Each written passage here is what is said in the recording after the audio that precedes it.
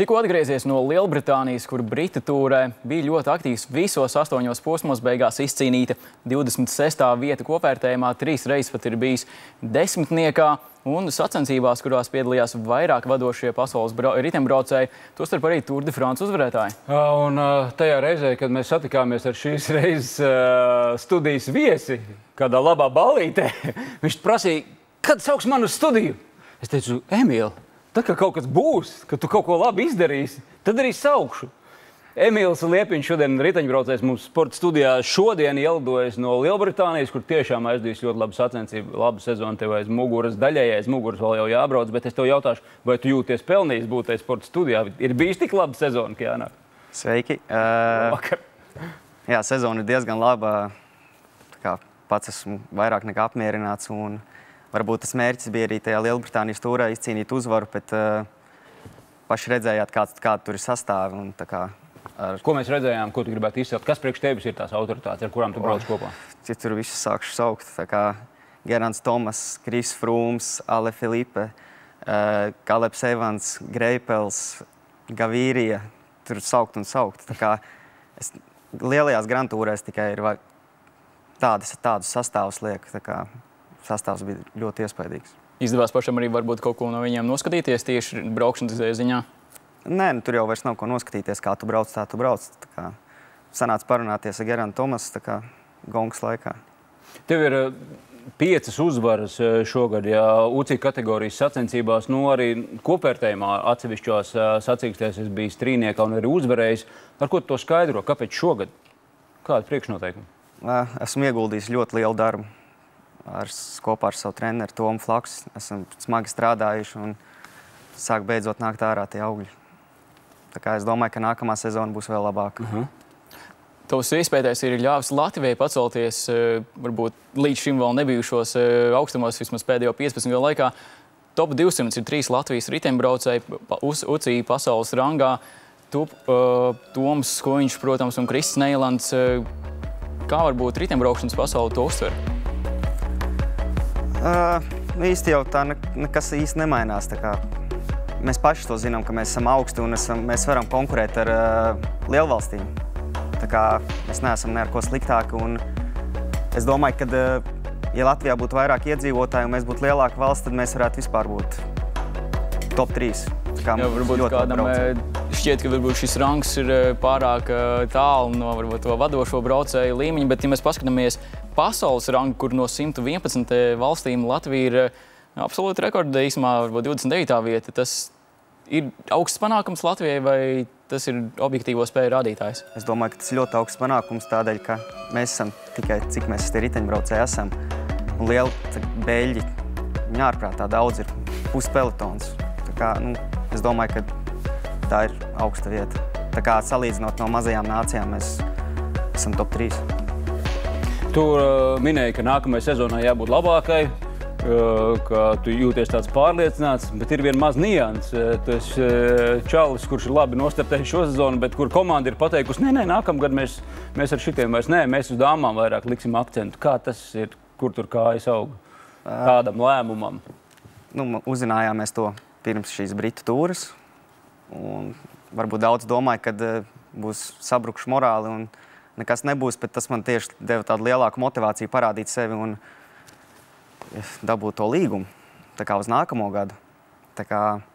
Es domāju, ka es parādīju diezgan labi. Un, ar aģentu, aģentu strādājam, izvērtēsim labāko piedāvājumu. Un, ceram, šī, šī mēneša laikā būs zinām, nākotnes Ka, kas ir tie galvenie iemesli, tavuprāt? Jo mēs arī sākumā parunājām par to dzimumu līdztiesību, un, un mēs apzināmies, ka ir sporta veidi, kur sievietes nu, to, to, to ar auditorijai var pārdot to sporta veidu. Riteņbraukšana sāk Nu, dāmas riteņbraukšana sāk ieņemt to vietu, ka kāds ir gatavs vairāk investēt tajā, nevis, nevis vīriešu sportā? Uh, dāmas riteņbraukšana aug ārprātīgi ātri tagad, un uh, šobrīd viņa ir lētāka. Tā kā uztaisīt vīriešu pro-kontinentālo komandu ir dārgāk nekā uztaisīt sieviešu voltūru komandu. Mm -hmm. Tā kā, Tas ir augstākā līmeņa komanda, jā, ja, sievietēm. Jā, tā kā voltūru komandu mm. sieviešu uztaisīt lētāk nekā vīriešu pro-kontinentālo. Uh, un komanda jau pirms sezonas teica, vai nu būs uh, pro-kontinentālā vai Voltūra komanda. vai būs, vai komanda apstāsies vienkārši. Jo viņi vairāk negribēja kā, būt mm. kontinentālajā līmenī. Mm. Tā kā, diemžēl, nauda nepietika dēļ Brexita un Trumpa izgājieniem. Tā mums arī paskaidroja. Un, kā, viņi cer uz 2020. gadu atgriezties ar sieviešu komandu un vīriešu komandu. Tā kā, jā.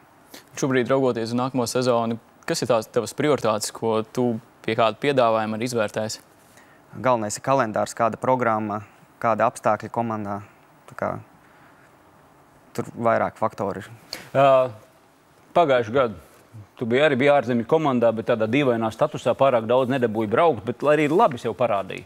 Uh, un pēc tam tu biji čalis bez komandas, un tad nāca talkā Toms Skuiņš. Ja? Jā. Tas vispār, nu, Raimons nocitēs droši vien, ko viņš Twitterī bija ierakstījis. Uh, un, un tu savā ziņā tādā veidā tiki pie, pie līguma. Jā. Jā, šeit tie, tieši Toms Koņš diezgan emocionāli raksta. Tiešām Emīls Liepiņš ir viens no ātrākajiem braucējiem. 15 reizes bijis top 6 un 10 reizes bijis uz piedestāla 2017. gadā. Daudz ko var viņš piedāvāt, un vīri jums viņš ir jāparaksta. Kā varbūt tā ir, tā ir ikdienas lieta, ka varbūt tieši šādi arī palīdz arī iegūt kontraktus, vai tā ir neierasta praksa, vai, vai, kas, kas varbūt ritimbraukšanā nav tik izplatīta? Nu, Pagājušajā gadā tas nostrādāja ļoti tās, tas Twitteris, jo es biju vienkārši bez darba. Es jau domāju, nu viss jāmeklē darbs, riteņš zāķīšu un viss beigas. Kā Toms, tu, Toms tiešām ļoti palīdzēja un parādnieks visu dzīvi. Bet viņš bija tas, kurš nāca ar šo iniciatīvu, vai tu viņam varbūt uh, ieminēji? Viņš pats to ierakstīja. Un šogad viņš arī to ir ierakstījis. jā. jo jāskatās pēc eh, ieraksta, varbūt būs kāds jau piedāvājums. Nu, varbūt ar. Bet, principā, jau, jūs kaut kādā mērā esat individuālisti vai ne? Nu, riteņbraucēji, bet, nu, laikam jau tie brālības likumi arī pastāv, vai ne? Nu, mēs tādi, mēs latvieši esam ļoti draudzīgi un tā kā viens otram palīdzam, cik varam. Mm. Tā kā nav gonkās, tā kā nu, sacensībās. Oh, tur tūlīt viņu nospiedīšu. Jā, jā. Šeit varbūt būtu jautājums arī par taviem rezultātiem, ko Toms jau ir uzskaitījis. Viņi ir iespējīgi. Un cik varbūt eh, tā ir normāla situācija, ka ar šādiem rezultātiem ir grūti atrast darbu, vai tur ir varbūt citi iemesli, piemēram, aprunājoties ar dažiem ritimbraukšanas eh, pasaules pazinējumiem. Viņi saka, ka Beļģim ar šādiem rezultātiem nebūtu problēmas dabūt līgumu, varbūt pat arī protūras komandā. Beļģis jau sen būtu parakstījis ar Voltūru komandu par pusmiljonu. Simtprocentīgi. Tas komandas arī skatās, kur Beļģis tur varētu piesaistīt sponsoru kādu un tā tālāk. Latvijas. Labi, Maza mēs valsts. parādīsim vienu fotografiju, kas varbūt uh, parādīs tavā sejā, varēs redzēt, ko tu tajā brīdī esi zaudējis. Tas ir uh, fotografija no uh, Eiropas čempionāta pēc, pēc finiša, ja, kurā tev bija puša riepa kur tev to riepu mainīja gandrīz divas minūtes, kur parasti maina cik ilgi? Nu, 10-15 sekundes. 10, sekundes. Ko tu zaudēji šajā Eiropas čempionātā, būdams līderu grupā un cīnoties reāli par uzvaru Eiropas čempionātā? Tā, es domāju, tā bija mana lielā iespēja. Es biju tiešām simtprocentīgi gatavs uzvarēt tajā dienā. Visu izdarīju pareizi. Un izbraucot no līkuma, es sapratu, man ir cauri riepa. Un tam man galvā lūdzu maini viņu. Stājos malā uz reizām, maina no to ratu. Bet viņš, es skatos, un viņš nevar to ratu ielikt. Es domāju, kas ir. Un... Bet tas nebija tavs komandas cilvēks, kas Nē, bija, tas bija neitrālis motocikls. Komandas mašīnas vēl bija, nebija pielaistas klāt, jo Glasgowā šauras ielas bija un nelaida klāt. Tieši tādēļ, ka viņi netiek, netiek garām. Tieši tur, kur es dabūju to cauro riepu, tas bija tā vieta, kur bija ceļa paplašinājums, kur mašīnas var tikt garām. Tā kā tieši izbraucot. Un Kas tev aizgāja ar degunu, tavuprāt? Liels līgums. Labi, par emocijām. Varbūt kā tu tiec ar tādām situācijām galā, nezinu, pēc starta kaut ko skrēja ar, ar pieru sienā vai, vai nezinu ko, vai, vai meklē vainīgos, vai kā tev tas notiek? Nē, nu, protams, es biju bēdīgs, jo es sapratu, ka es reāli varēju cīnīties par Eiropas čempionāta titulu, bet uh, nevar skatīties uz to atpakaļ. Nu, kas bija, bija jāskatās uz priekšu. Ir, un jāturpina cīnīties. Kā, nu, ko, es, ko es vairs varu izmainīt? Ja es tagad sēdēšu un pārdzīvošu, nu, labāk jau nevienam no tā nepaliks. Mūsu studijā ir ārkārtīgi launs braucamrīks. Es esmu autiņš, zinu, ka ir tāds nosaukums, bet jums arī ko komandai Aston Martin ir sponsors. Jā, jā galvenais sponsors Aston Martin. Cik tas aparāts maksā? 17,000 eiro. Jā. Un Aston Martin par tādu nav nenopirks. Jā, Aston Martin. Ričuks ir labs. Un tas nodrošinājums, kāds komandai arī bija tik izcils, kā tu nosauc šī riteņa summu, vai tas ir standarts? Ri-? Ritenis ir ļoti labs, viņš ir roku darbs un ā, tāpēc viņš ir rītīgi dārgs. Un tas, protams, Aston Martin uzraksts arī maksā. Tā kā, Kā tu brauks nākamajā komandā? es arī nezinu. Nabadzīgs. Jā, par, par to vispār nu, iespēju pārliecināties. eh, Nu, tas, kas jums ir tagad, un kas varbūt Latvijā, kā, no kā tu esi izaudzis, var salīdzināt to ceļu, ar ko tu brauc varbūt vēl pirms desmit, pieciem gadiem.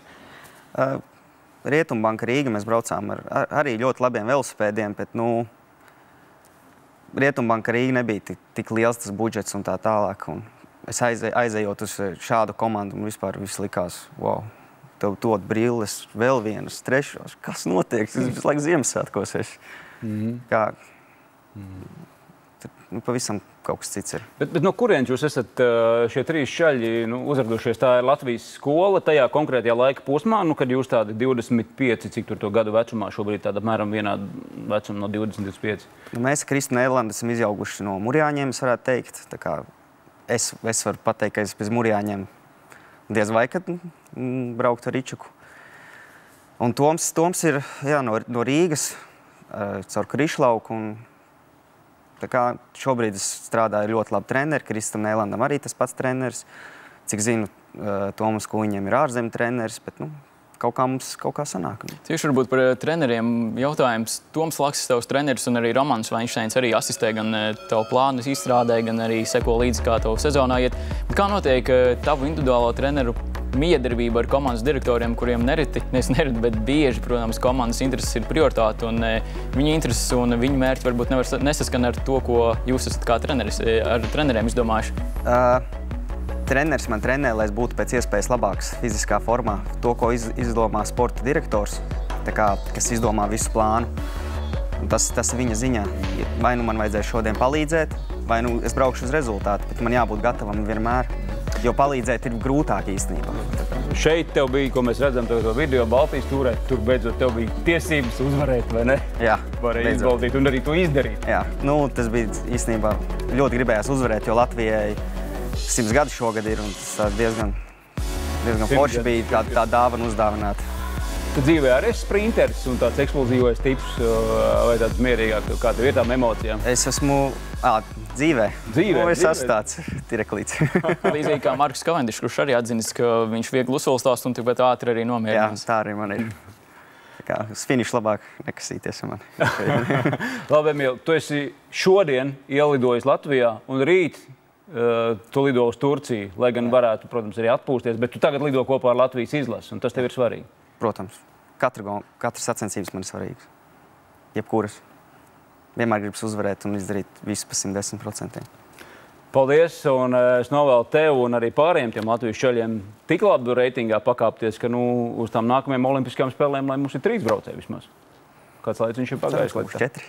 Trīs, četri, labi. Darīsim Paldies. visu iespējamo. Lai izdodas, Emīl. Paldies!